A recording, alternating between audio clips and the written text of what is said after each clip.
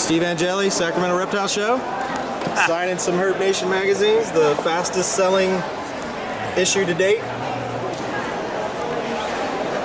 Keep signing. Keep going? Keep going. All right, here I go. Yeah. Let's try this. Do they sell snake skins here and stuff? I, you know what? Everybody sells so much stuff, they probably do somewhere. This is like years of hard work to write this article. I put it on. I put it on at $10 magazine. You have a lot of happy people. Thank you. They me happy too, man.